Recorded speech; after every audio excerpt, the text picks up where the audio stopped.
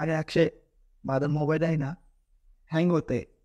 आणि बॅटरी लवकर संपते. तुझ्याकडे काय सोल्युशन आहे का?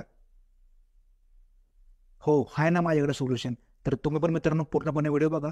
जर तुमचा पण मोबाईल सारखा हँग होतोय आणि तुमच्या पण मोबाईलची बॅटरी सारखी लो होते तर हा व्हिडिओ पूर्णपणे बघा. कारण तुम्ही फॉलो केले मायटेक कॅम्पला एक तर मित्रांनो तुम्हाला सिंपल तुमच्या सेटिंगमध्ये जायचे सेटिंगमध्ये गेल्यानंतर तुम्हाला इथं अबाउट फोन किंवा अबाउट डिव्हाइसमध्ये जायचं आहे त्यानंतर तुम्हाला सिंपल सॉफ्टवेअर इन्फॉर्मेशनमध्ये जायचं आहे त्यानंतर ना इथं तुम्हाला बिल्ड नंबर दिसेल.